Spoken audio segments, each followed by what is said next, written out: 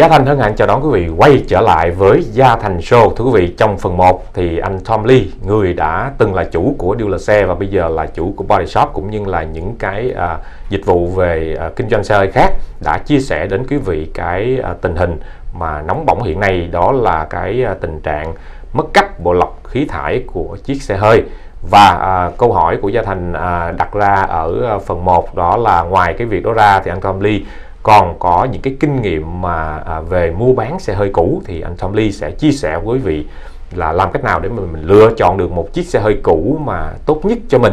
Thưa vị ví, giống bây giờ như là Gia Thành đi. Gia Thành sẽ à, đi tìm mua một chiếc xe cũ thì bây giờ mình sẽ lên đâu mình coi? Mình lên Craigslist hay là mình lên những cái app mua bán xe thôi à, ờ, theo kinh nghiệm của tôi ờ, lúc trước á, thì thường thường á, là có một cái website trên ờ, nó gọi là Auto Trader hay là car.com thì ờ, thường thường ờ, coi những cái ờ, dòng xe mình thích. Giống như là nhiều người thích Toyota, nhiều người thích Nissan, Lexus thì nó có đầy đủ trên đó hết. Thì ờ, thì cứ coi thì mình thích cái nào mình mình mình chọn lựa thôi. Dạ.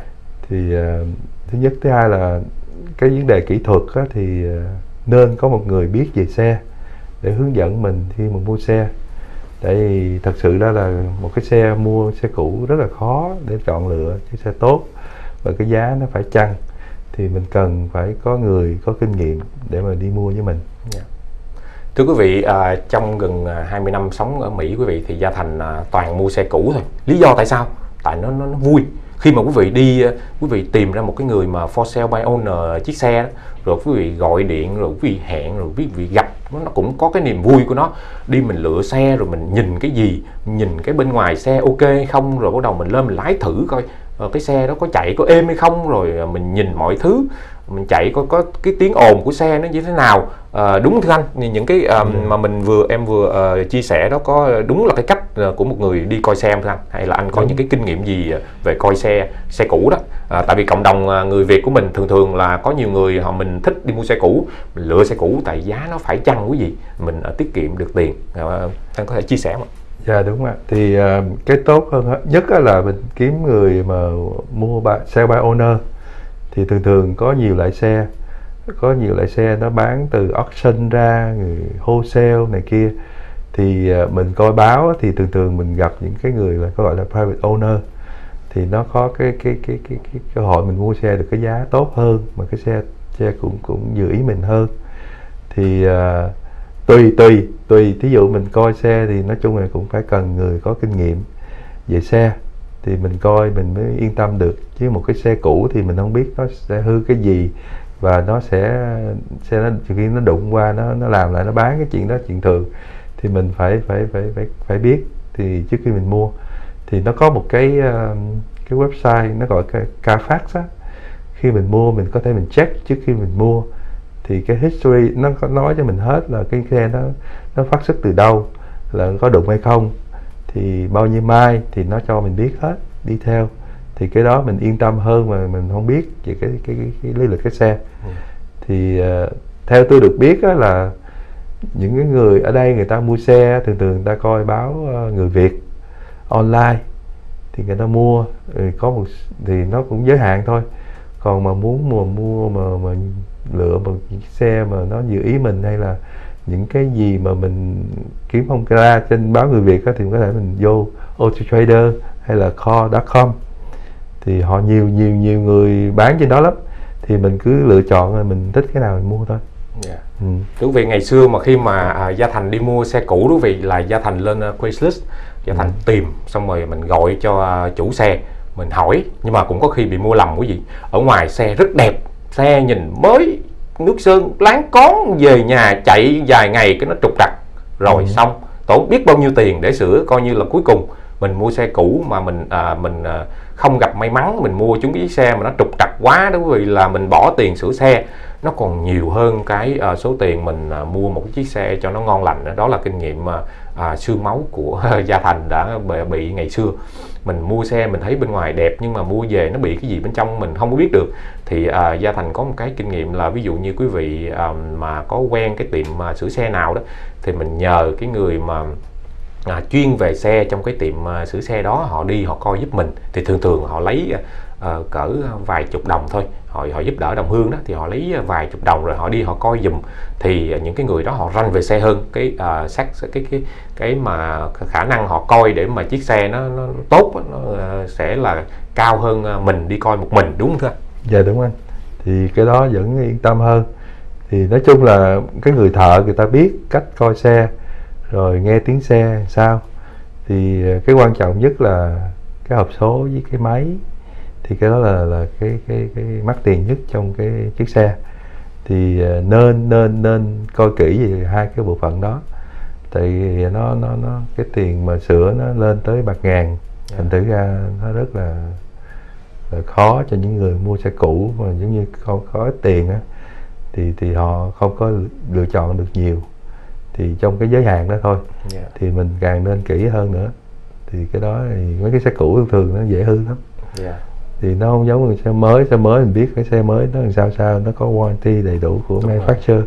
Dạ. thì mình yên tâm hơn còn cái, uh, quý vị mua cái xe cũ thì nó cũng hên xui Đúng rồi. chung là nhiều khi mình không biết được yeah. Dạ. nhiều khi mình mua bữa nay nó tốt ngày mai nó hư cái chuyện đó chuyện thường mà nếu mà có một người kinh nghiệm thì người ta có thể người ta biết được nhiều hơn mình là tại vì người ta trong nghề người ta rành hơn ví dụ người ta coi người ta coi cái nhớt nó làm sao nhớt máy làm sao nhớ hộp số làm sao. Thì ta biết cái cái cái cái cái, cái hộp số nó last được bao lâu cái máy nó last được bao lâu. Thì cái đó là cái cái kinh nghiệm của người làm xe. Hay là cái xe tiếng kêu nó làm sao thì nó nó có ảnh hưởng tới máy hay không có ảnh hưởng tới hộp số hay không. Đó rất là quan trọng.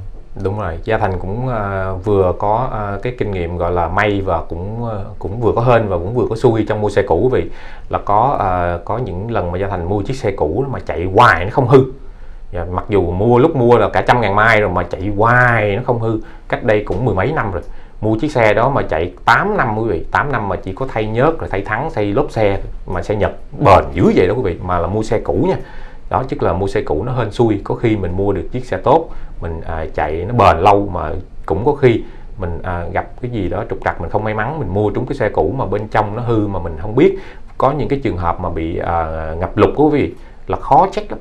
À, cái đợt mà thành phố New Orleans cách đây cũng ờ, lâu lắm rồi bị ngập lụt đó, thì có một cái lượng xe rất là lớn ở thành phố New Orleans họ họ đẩy ra họ bán à, tràn ngập khác các tiểu bang luôn. Và rất nhiều người à, bạn của gia thành đã mua trúng cái những chiếc xe đó bên ngoài rất đẹp nhưng mà thật ra nó đã bị ngập lụt rồi. Và à, từ cái thành phố New Orleans đó họ đẩy ra những cái thành phố khác họ bán mà những thành phố khác mà chưa bao giờ bị ngập lụt thì người ta không có để ý mấy cái đó. Người ta không có uh, đề phòng cái chuyện đó. Ai về đâu chiếc xe đó xuất phát từ cái uh, cái vụ mà ngập lụt khủng khiếp ở thành phố New Orleans.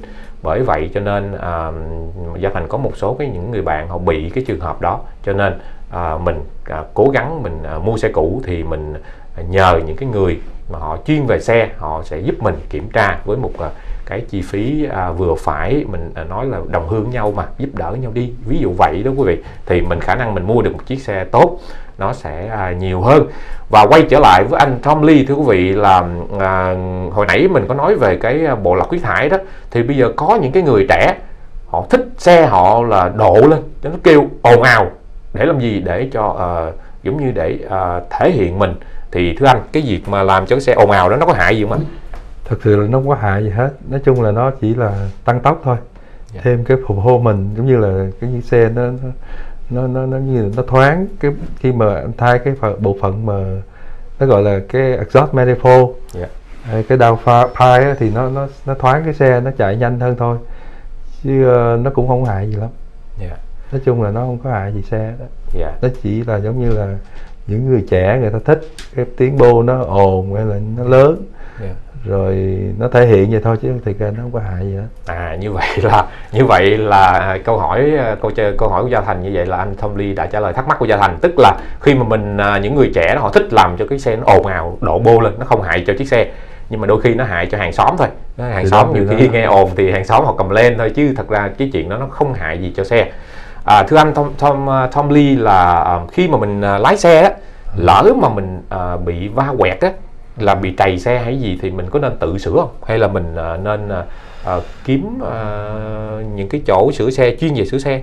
Thật sự là nó có va chạm nó tùy tùy tùy lúc tùy chỗ tùy nơi. Thật sự là nếu mà quý vị mà chẳng may mà xảy ra những cái à, đáng tiếc như vậy á, thì việc nên cần làm á là thí dụ đi mình có nhiều người client đó, người ta cũng cũng cũng lâm vào vô cái cái tình trạng như là bị parking, rồi bị da đụng, rồi rồi chạy trên đường bị đụng này kia. Thì trước hết là là mình phải phải phải giống như là khi mà đụng á, thì thì mình phải thứ nhất là mình mình phải phải biết là người ta đụng mình sao, rồi mình phải có chụp hình được thì tốt. Không có thì mình có một cái cái cái cái cách là để cho người ta khỏi phải sau này người ta không có nói tới đến lui là mình mình lỗi. Nhiều khi mình phải mà cuối cùng mà mình mình mình lỗi.